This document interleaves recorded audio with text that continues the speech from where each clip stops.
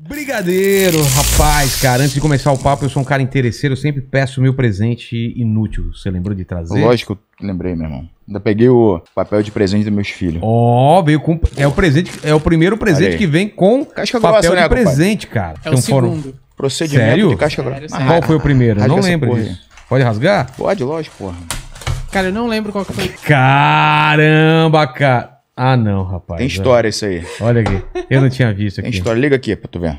Aqui, aqui, aqui é o botãozinho aí. Da esquerda. Primeiro da esquerda, isso aí. Liga aí, fala aí. Alô? Não tá indo não? Oxe. Alô, alô? Alô? Alô, alô, alô. É um megafone com adesivo do Bolsonaro, cara. Essa porra, eu usei isso aí pra ajudar esse miserável aí, meu irmão.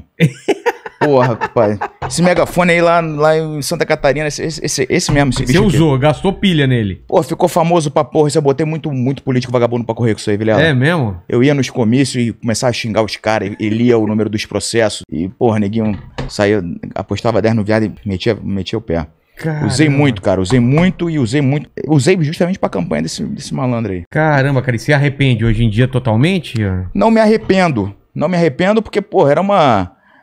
Tava difícil, hein? Era ele ou o Haddad? Quem errou não fui eu, irmão. A minha parte eu fiz. A minha parte eu fiz. Quem errou foi esse malandro aí que não cumpriu nada. Mas você foi, você foi agora pro outro lado totalmente, agora você foi pro lado do Lula, cara? Hum, Lula livre aí no seu braço? meu irmão, todo mundo fala isso. Você viu aqui? É luta livre, pelo amor de Deus, gente. É luta livre. Se fosse Lula livre, eu amputava o meu braço. Mas eu vi uma Sério? montagem que o cara fez com Ah, Lula mas faz, livre. faz, faz. já A galera- Então mostra aí, mostra aí.Egou na câmera, ó. Porra, luta livre, pelo amor de Deus. Aí eu vi um cara que escreveu Lula livre no braço dele e falei, caramba, o cara foi pro outro lado totalmente. Isso aqui eu fiz em 2010, cara, essa tatuagem. Antes de Lula ser preso, antes dele ser livre, antes... Porra, mano, pelo amor de Deus. Vai ser preso de novo, vai ser solto de novo. De novo. Mas deve ser, né? Isso aqui é uma, uma esbórnia, né, cara? E vamos É, falar de luta livre ou de política O primeiro? que você quiser. Vamos falar do que você quiser, né? Então vamos lá. Primeiro, o que, que aconteceu com o nosso amigo aqui, cara? Que ele, ele uniu um pessoal que estava muito satisfeito com o PT, né? Que não aguentava mais aquela roubalheira, aquele todo aquele, aquele discurso que nunca foi colocado em prática, na verdade, né? E aí apareceu esse cara aí. E aí você acreditou, fez camp... você fez campanha mesmo, então. Irmão, eu fui Subiu candidato, bicho. A pedido Ah. desse, desse maluco, eu fui candidato. Eu, eu montei o PSL em Santa Catarina. Você teve reunião com ele? Porra, direto. É mesmo? Eu frequentava a casa dos filhos. Era, meu irmão, era sinistro. Eu fui- fiz um negócio por ideal mesmo, bicho. Por ideal. Eu sempre tive ojerias da política, terror e pânico. Não- se alguém viesse falar de política comigo, eu falava, porra, fala com isso. Não, não quero nem saber. Totalmente desinteressado. E aí, ah, quando a minha esposa engravidou, me bateu um pânico, cara. Falei, porra, meu irmão. Agora eu vou ter que ensinar alguém a ser gente. Né? É. Eu sou um merda. Eu pensei, eu sou um merda, não tenho nada pra ensinar. Só sei ensinar luta, não sei valores, eu não tenho. Eu era um lixo de gente. Eu era um, eu era um cara deplorável, medíocre. Tudo que você pode imaginar de adjetivo ruim cabia a mim. É mesmo, É, cara? era deplorável, meu irmão, deplorável. Mas antes do casamento? Não, eh, durante o casamento, Durante antes da minha mulher engravidar. Eu era mesquinho, eu era egoísta, eu era interesseiro, eu era mentiroso.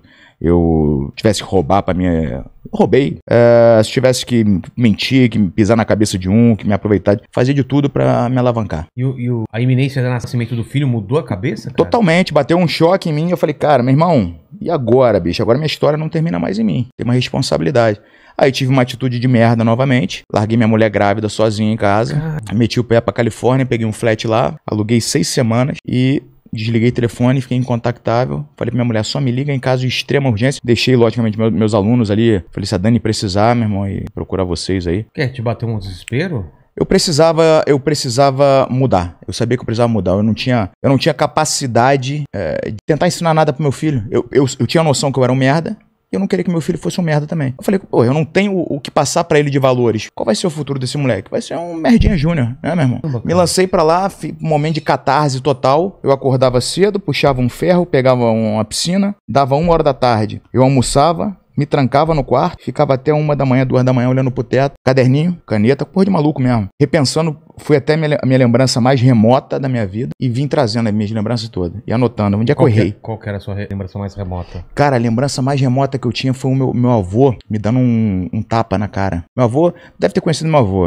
Meu avô chamava- chamava-se Wilton Franco. Um, Caramba. Um puta de um diretor de televisão, foi criador dos Trapalhões. Tô ligado. Ah, ele lançou um monte de gente, o Sérgio Malandro, o Wagner Monte, essa rapaziada toda ele que lançou. E meu avô me bateu a única, essa única vez na minha vida. Eu, eu tava no CA, Hoje nem existe mais esse negócio, mas é a classe de alfabetização antes do- da, da primeira série. E eu roubei uma borrachinha. Porra, eu, eu- meu irmão, eu tinha o- a borrachinha básica, o lápis, e aí um, um amigo meu tinha uma, aquela borrachinha cheirosa. Porra, achei mal barato. Então, peguei e meti na, no estojo. Cheguei em casa, foi hora de fazer o dever, aí meu, meu avô comprava material escolar, porque é meu avô que me criou. né? Meu, meu pai me abandonou com um ano de idade. Aí o meu avô abriu e falou assim: Meu filho, Marcelinho, me chama Marcelinho. Marcelinho, quem que é essa borracha aqui? É minha. Não, não é tua, não. O avô que compra o É. material. Quem que é? Falei, ah, avô, era do meu amiguinho eu peguei. Ele sabe que tu pegou? Eu falei, não, eu peguei, mas é só uma borracha. Meu irmão me deu-lhe uma fritada na minha cara, pau! E ele nunca tinha me batido, meu avô era tipo um ídolo pra mim.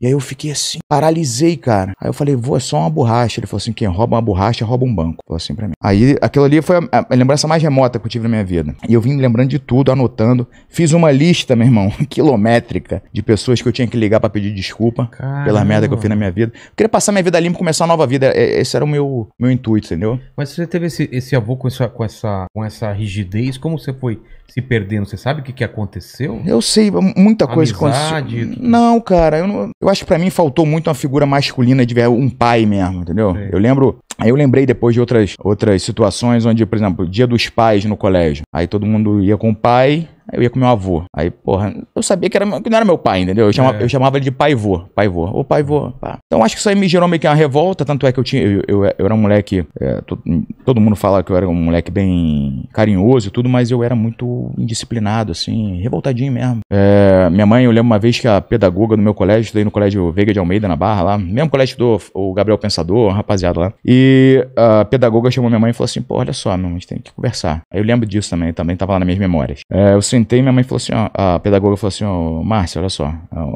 olha o desenho das crianças. Tinha várias tarefas que tinha que desenhar, pá. Era aquele desenho, né, meu irmão? Boneco palitinho, a casinha, porra.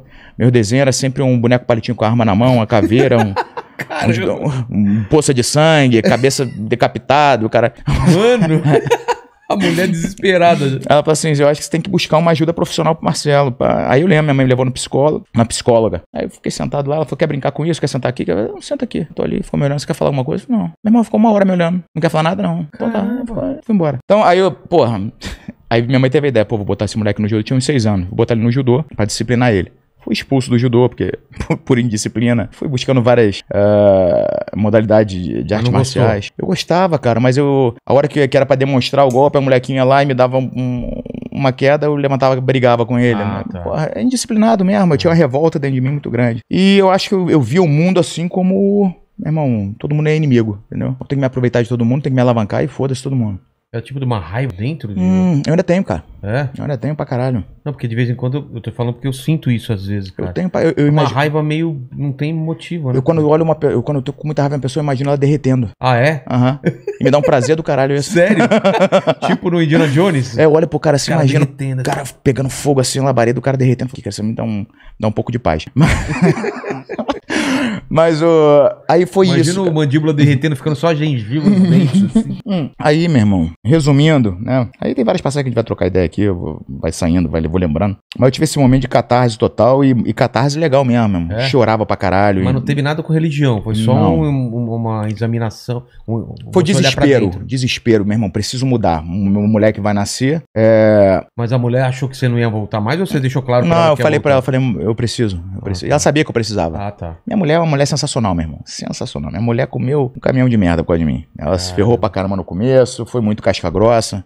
Mas minha mulher é parceirona, minha, minha mulher é casca grossa. E aí, meu irmão, ela, ela percebeu que eu precisava daquilo, eu precisava mudar, entendeu?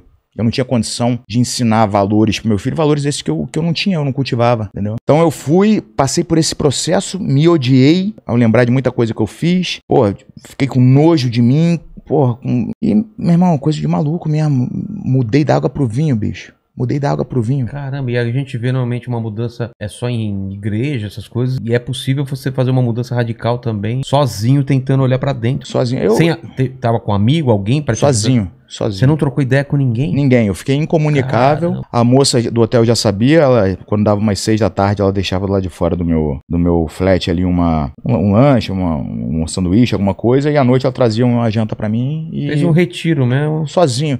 Eu, eu E digo. por que lá? Não, não sei. Porra de maluco. É? Eu fiquei em Newport Beach. Eu queria pegar um sol, queria também puxar um ferro pra dar uma desopilada e aí o resto do dia eu tirava pra mim. Eu digo que eu fiz um caminho de Santiago da Compostela parado dentro do quarto. Tô ligado. Porque todo mundo fala que se encontra no caminho, né? É, é, Porque é. tem muito tempo pra pensar. Exatamente. E eu fiz isso. Aí voltei pro Brasil, cara.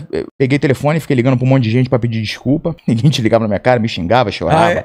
As reações mais inusitadas. Porra, muita gente que eu fui filha da puta pra caramba, cara. Porra, meu Deus do céu. É, o, o cara fala, por que, que o cara tá me ligando agora? É. né? Eu não devia Pô, entender nada, né? Deve estar querendo alguma coisa de novo. É, exatamente, cara. O cara quer me fuder de novo, cara. E teve gente que aceitou a desculpa. Teve, teve gente que chorou legal. pra caramba. Eu via que tinha gente que esperava, gente que gostava de mim, eu magoei por maldade, pura maldade. Porque quando tu não é feliz com você, É, você não é feliz com ninguém, meu irmão. penso assim também, cara. E como muita coisa me magoava, eu sentia, meu irmão, se todo mundo estiver feliz em volta, isso vai mostrar ainda mais a minha tristeza. Então eu vou magoar todo mundo que tá aqui em volta, também que foi todo mundo uma porra de uma igualdade medíocre aqui, e eu me sinto pouco melhor. Por comparação. E eu vi muita gente que, porra, cara, que, que eu magoei pra caramba. Tem um amigo em especial, o Renato, cara, esse cara, um irmão pra mim, eu magoei ele pra caramba, assim, cara. E um dia, eu, quando eu voltei, eu troquei ideia com ele. Falei, cara, meu irmão, foi um merda, desculpa, cara. Ele, pô, me abraçou, pô, foi, Pô, que foi mal barato.